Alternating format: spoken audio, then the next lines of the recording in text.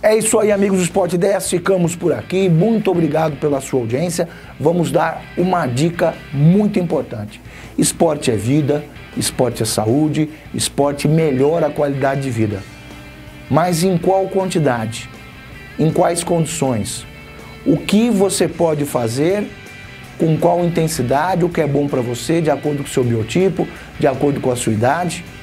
Então você tem que procurar ajuda de um profissional habilitado, um profissional credenciado, um profissional da área de educação física.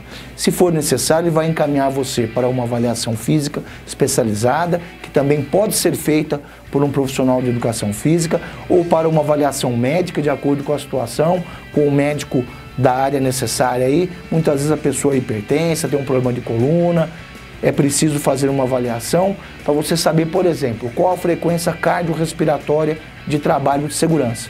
Se a pessoa trabalha fora dessa frequência, está correndo riscos de ter um infarto fulminante na prática de uma atividade, cometer algum excesso, se a pessoa tem uma bursite, um problema de articulação do joelho, tornozelo, coluna. O que é necessário? O que pode ser feito? Qual a melhor modalidade? Se a pessoa está muito obesa, por exemplo, não pode correr, não pode caminhar. Tem que começar com natação, com bicicleta ergométrica, enfim. Isto o professor de educação física ele vai avaliar e vai orientar. Essa é uma dica do Esporte 10, 10 vezes mais esporte para você. Valeu!